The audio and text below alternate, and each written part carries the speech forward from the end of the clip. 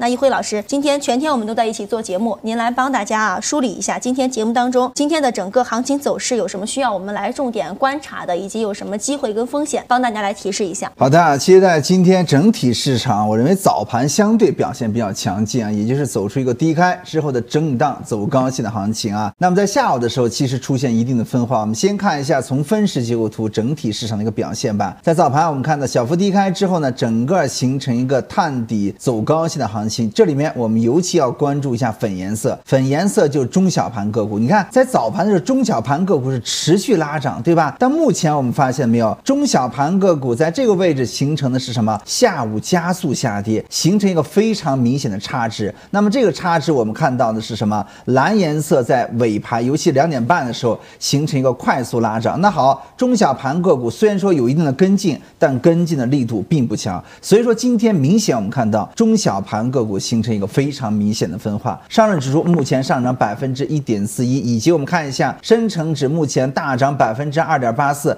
但这里面我们看到的是什么？下跌家数达到一千七百八十一家，以及上涨家数是一千零六十五家，对吧？好，我们再看一下创业板指，同样是大小指数形成一个非常明显的分化，对吧？创业板指目前是上涨百分之二点一八，以及我们看到上涨家数是达到多少？三百六十三家，下跌家数是九百六十三家。好，今天其实赚钱效应怎么样？其实一般，三千一百家下跌，两千两百家是上涨的。好，我们再看一下跌停家数是二百八十八家，目前来讲话，涨停家数刚刚是一百家。那么为什么我们看到在下午两点半的时候突然的快速拉涨？我告诉大家，也就是整体而言，石油石化板块回流了。形成一个大幅的反攻，我们看一下石油石化板块，在今天早盘的时候，发现没有形成一个非常明显的弱势。但是我们看到，在接近于尾盘两点半的时候，快速拉涨，对吧？目前是上涨达到百分之一点九一。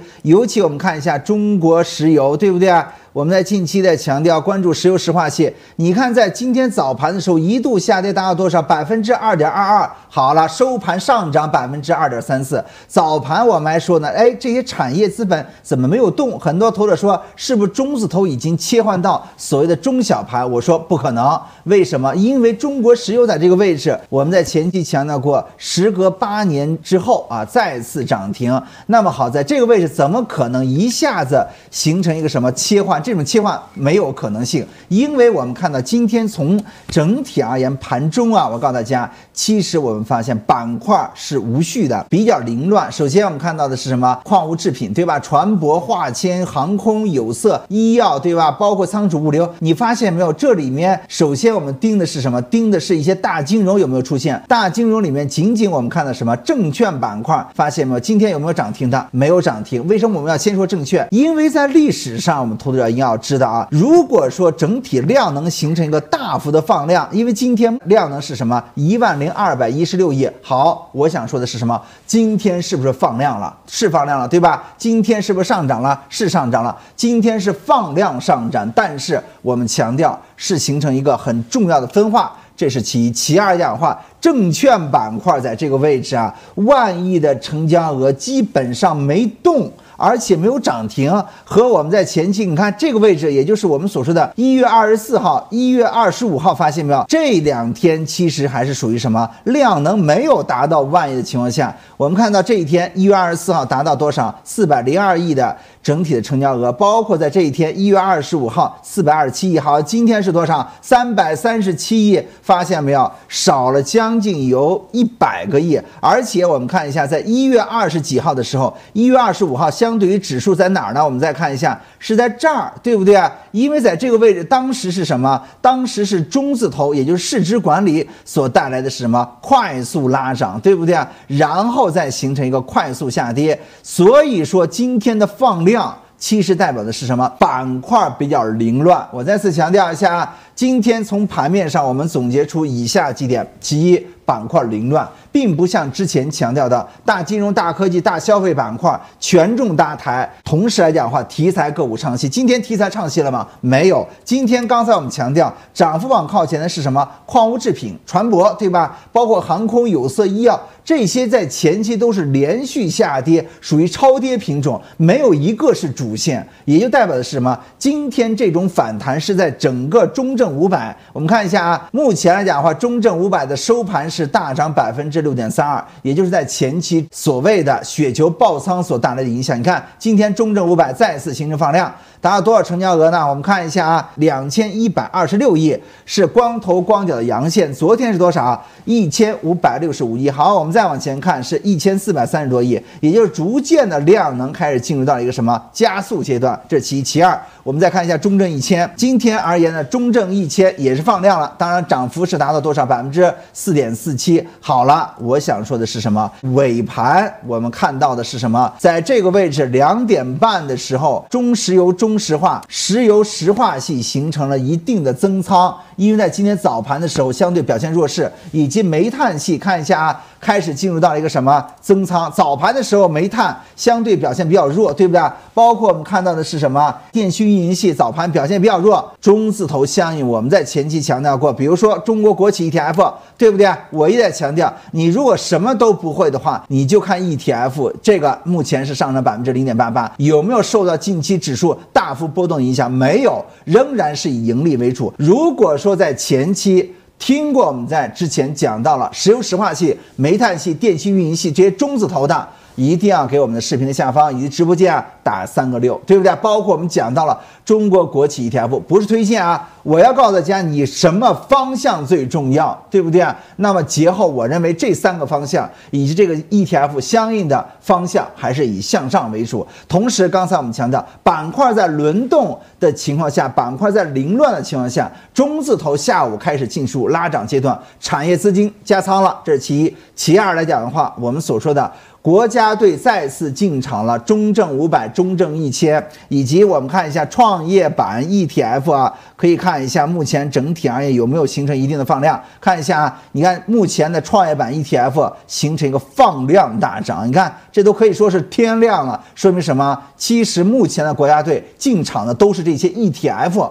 好，我们在昨天其实看到了消息，什么？也就是汇金公司认为目前整体的 A 股具备于配置价值，同时而言，它进入了相应的 ETF，以及我们看到证监会很明确关于转融通的暂停有一个很明确的一个政策的指向，所以说这也导致了昨天我们看到市场在下午的时候走出一个什么快速拉涨。我们再看一下啊，这是昨天的一个走势，形成一个什么快速拉涨，而且是放量了。那么今天我们再看到的是什么？早盘的放量，我认为有一定的追涨资金。下午两点半的放量是在于什么？一个是国家队，一个是产业资本。好在中间的这个期间，其实是什么？很多的一些游资，包括散户，其实没有追。这一波在今天早盘的前一个小时有追的，也就是二六三五点，是不是一个历史低部？不是。我告诉大家为什么不是？我们可以回看一下历史啊，给大家看一份报纸啊。这个报纸是什么？是在二。二零零八年的九月十九号的报纸，好，当时也是什么？汇金将购入工中建三银行股票以及证券交易印花税经起单边征收。我告诉大家，其实，在二零零八年的九月十八号的时候，当时是什么？也是下午的时候走出一个快速的 V 型反转性的行情。在这一天，仔细看一下，九月十八号形成上涨吧。好，在这一天千股涨停，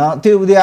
那整个来讲的话，大盘都涨停了。好，再继续涨两天。然后形成的是什么新的低点，也就是幺六六四点。所以，我们再看一下近期市场的舆论还是什么平准基金。我们再往后看啊，跟大家说一下，二零零八年的时候，当时其实什么？有专家认为，汇金将在二级市场购入三大行股票，举动堪比平准基金。平准基金入市啊，不仅仅是在目前，已经其实在二零零八年，当时是什么？二零零八年当时，其实我们要知道，是从六幺二四以来金融危机所带来。的大幅的下跌之后，我们相应的汇金入手。那同样一个道理，现在这个汇金入手是不是代表的是什么？整个指数形成上行？我并不这么认为。我们要知道是什么？我们在昨天也再次强调过，连续下行之后，比如说跌破三千点，三千点压力，好，两千九变成了一个支撑了。好，那再上往上三千点压力，那看这个位置是什么？两千九百点。你看突破两千九百点之后，再次形成一个连跌。那么我们在前期这个位置强调的是什么？中字头形成一个很明显的一个上行。好了。那么现在的上涨，我们刚才强调，一定要仔细听一下。在二零二三年的十二月中下旬的时候，当时我们指出的是什么？一个是微盘股票，也就是中小盘为主的；另外一个是什么？高股息的，对吧？整体而言，市场形成哑铃型。那么整个在一月下旬的时候，市值管理对于中字头形成连续的单边上涨。我们强调是大盘蓝筹股大台，小盘股唱戏，并且量能持续增加。今天量增没增？增了，但大部分都是产业资本加上。国家队，那么在节后，我们仍然要关注的是什么？是国家队的表现能不能持续增长？我们在今天期待强调的是什么？市场在这个位置只是在救急，不是在救穷。什么叫救急呢？也就是整个雪球已经爆仓了，爆仓完之后，现在什么杠杆资金已经到了平仓线，这是其一。其二，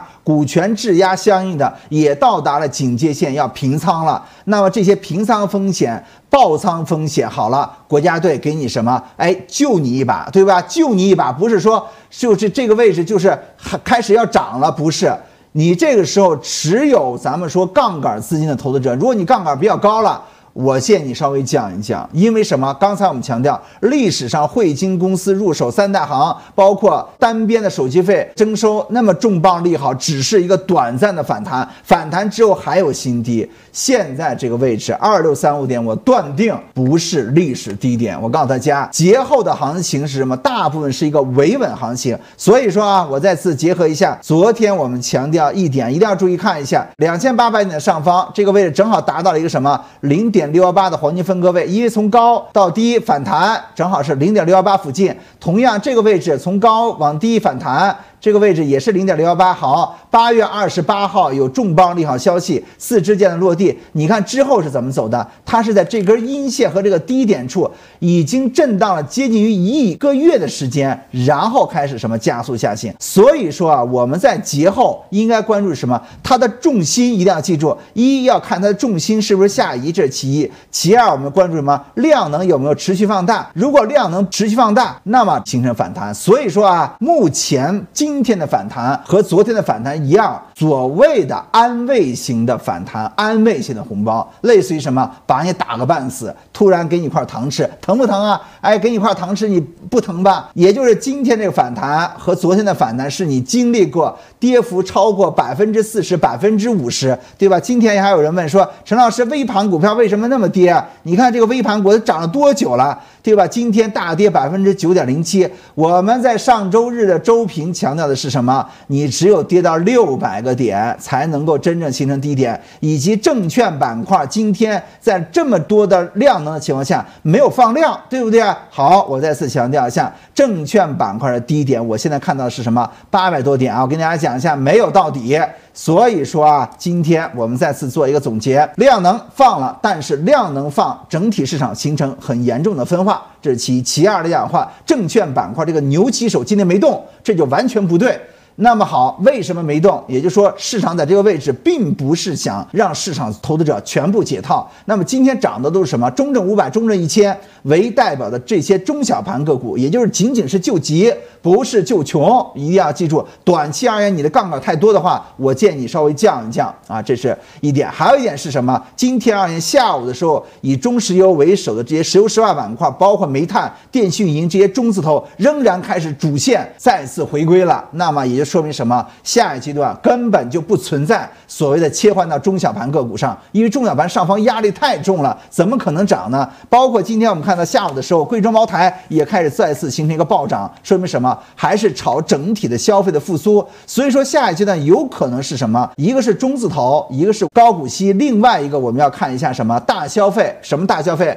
酿酒，包括家用电器啊，包括一些其他的相应的消费类的有没有形成复苏？像食品饮料，这是我们需要关注的吧？所以说，对于明天吧，因为明天是节前的最后一个交易日，那么我认为也不会大涨，也不会大跌，市场维持在均衡态势吧，就是这样的。